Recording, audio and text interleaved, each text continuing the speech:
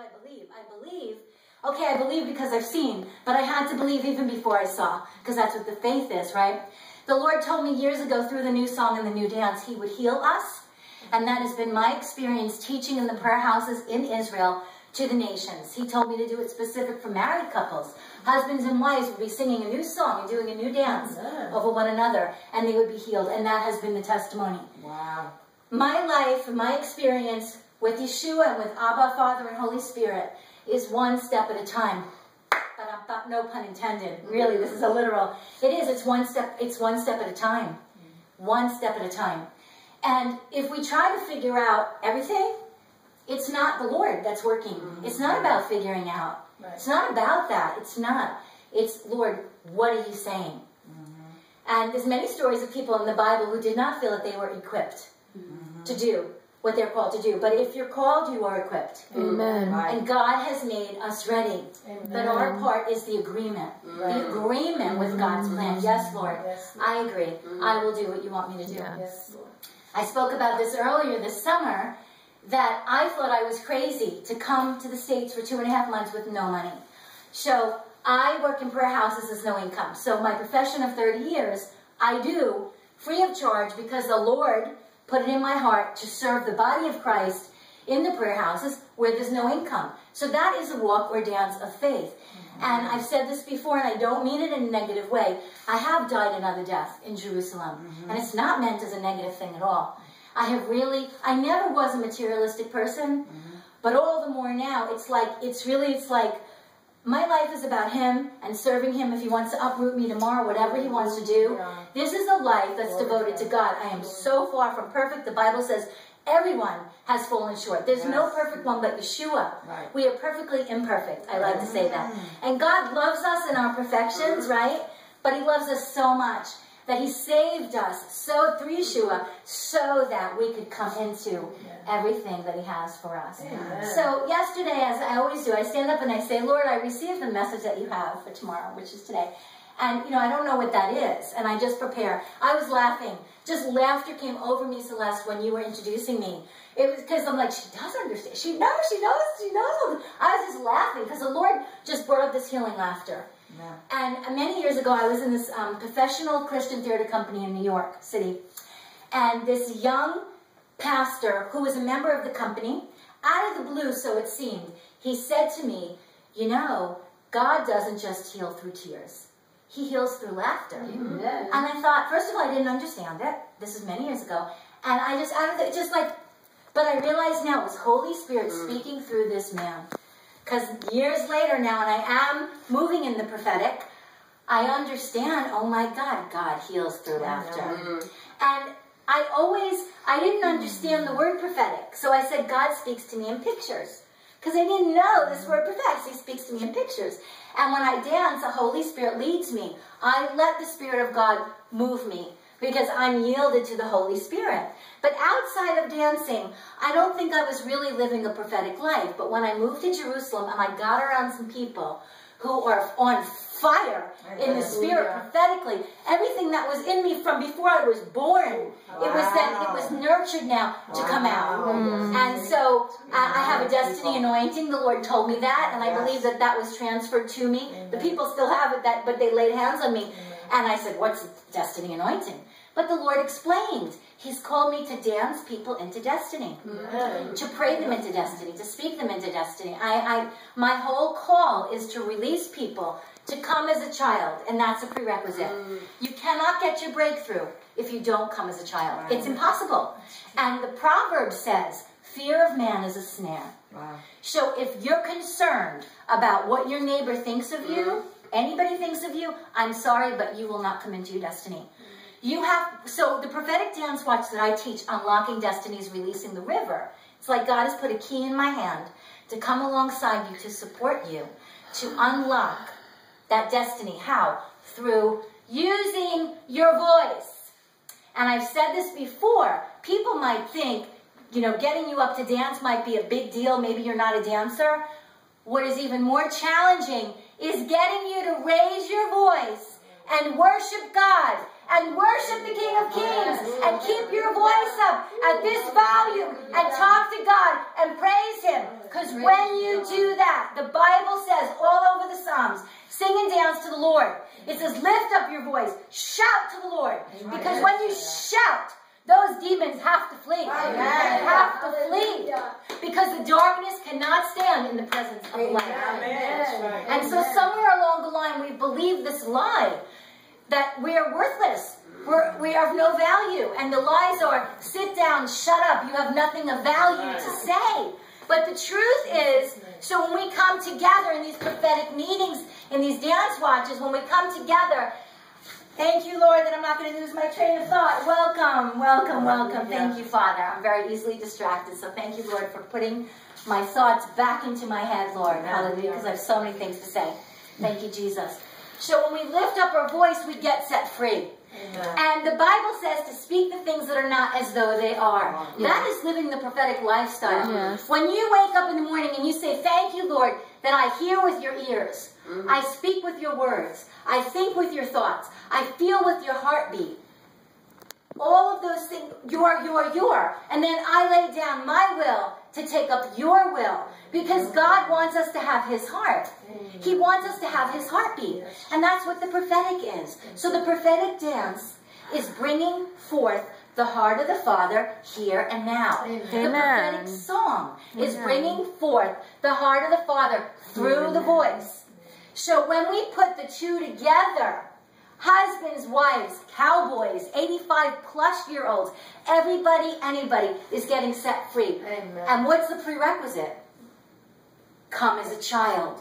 Because when we come as a child, we have died to what man thinks of us. And so when I do these watches in Jerusalem and in the nations, that's a prerequisite. We must come as a child. Otherwise, we're not going to get a breakthrough. So we practice the prophetic. Now, the prophetic and speaking words of life and faith, we're not saying your husband his name when you meet him. We're saying things in the Word of God. Amen. We're saying things that line up with God's Word. And it's very, very important. My barometer is God loves me. That's my barometer. Keep it simple. Yeah. God, my Father loves me. So any thought that comes into my mind that doesn't line up with that, give right. it to the pit okay. immediately. Amen. Immediately.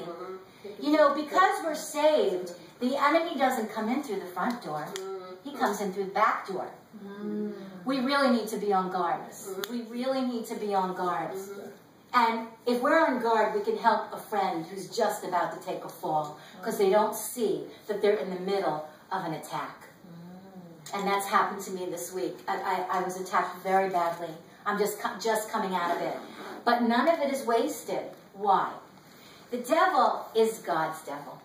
The devil's just doing his job. He's a liar, he's a thief, he doesn't do anything new, he doesn't get to sing the new song that we do, doesn't do a new dance, none of it. He's doing his job being the devil, right?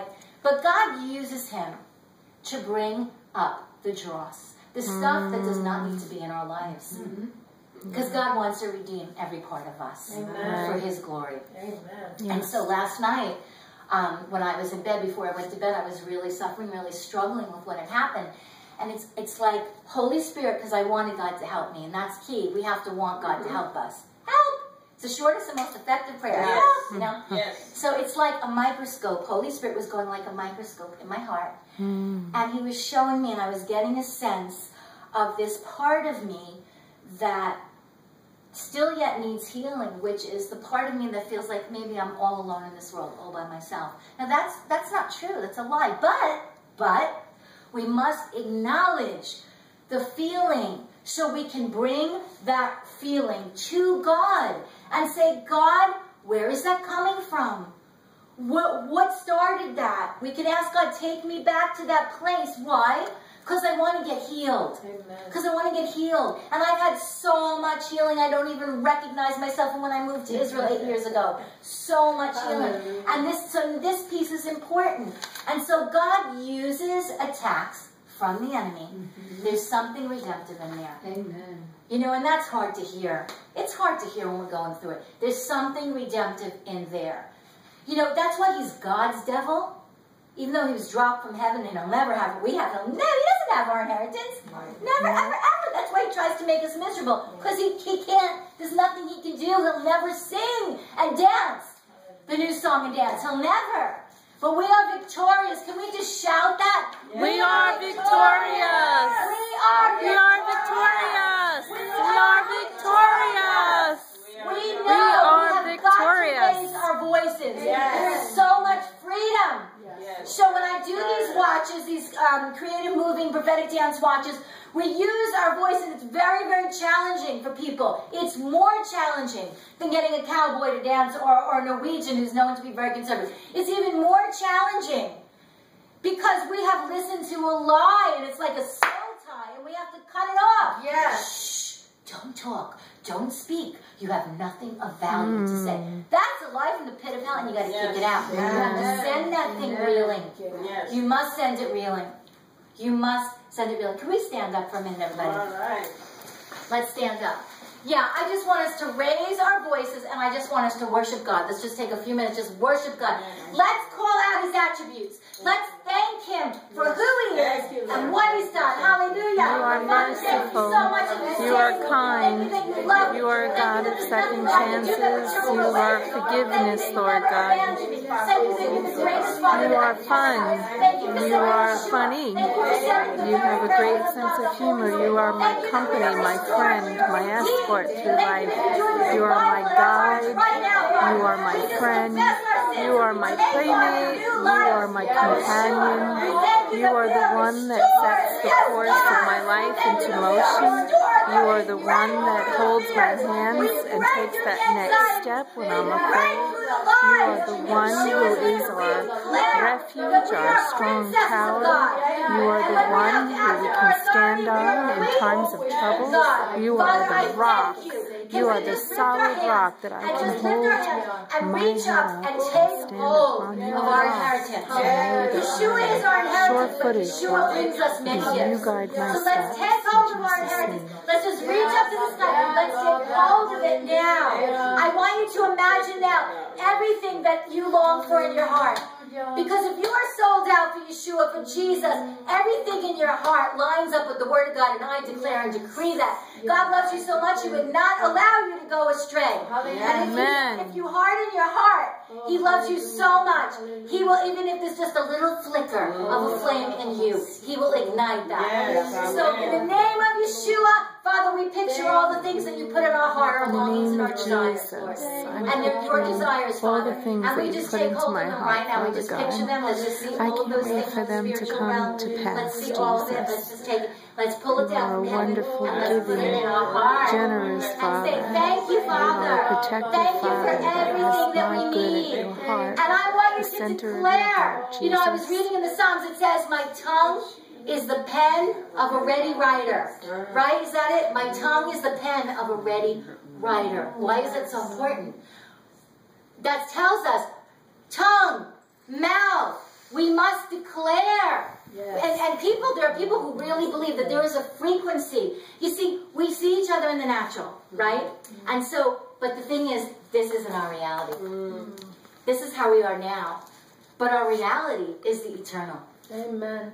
unseen presence. Our reality is the eternal. All things pass away, but the word of God remains forever. And that's why when things are tough here, we, we can uh, quickly, as quick as we can, identify with Yeshua, identify with his sufferings, knowing that it'll pass, but also we identify with his joys. Hallelujah. And life is not meant Amen. to be easy. He didn't put us here so we could be happy. That's not the all end all. It's nice when we're in that mountaintop experience, but we grow in the valleys, and we all know that. Yes, We all Yes. know that. So we can thank Him. Father, I thank you for my valley. I thank you for my valley, Lord God. But Father, thank you that you bring jewels Thank you. out of that my you bring darkness. jewels and out the of my darkness. treasures in hidden place, in secret places. Treasures in secret places. Out of secret places. Yes. Welcome to see you, sweetie. Thank. Let's just give the Lord a big hand. Guys, I just want you to let the sound out. Let's just hoot and holler. Let it out. Do you know that when you're doing that, you are breaking free? You are breaking off the shackles. Let's just do it. Break off the shackles. Break off the Yeah! Jesus! Hallelujah! I am free. I am whole. I am restored. And I want you want to Jesus. shout everything that your life. Let's shout that. Thank you for I'd like to see my four children praising the Lord, lifting their hands high in the praise for their Lord, their God, their Savior, Jesus Christ. That they would even lead others to the saving truth of Jesus Christ. That they would be set free and be called into their destiny, Jesus. That they would be successful in their businesses, in their career paths, Father. That you would stir up the gifts in each of them that you made in them, Father, so that they would be whole and they would be operating in all the gifts that you've put before them to, to for themselves, for their own purpose, and for others around them, Father God. Woohoo!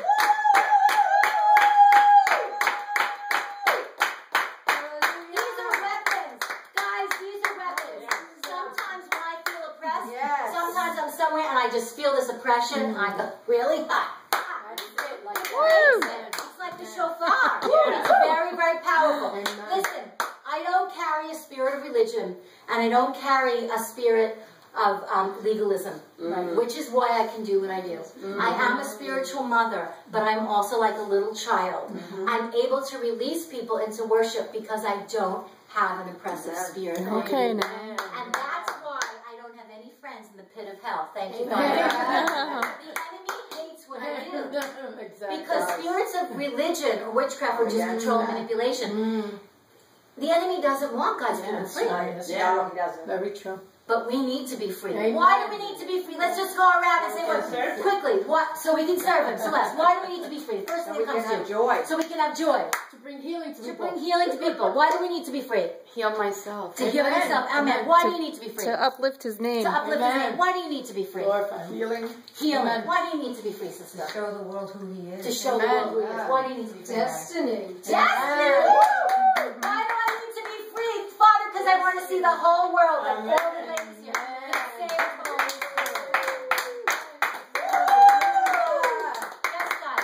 Okay, let's have a seat. We're continuing. I'm just listening for the Holy Spirit. Mm-hmm. Okay? Oh, we are? Yes, honey. Okay, they're running one and twenty.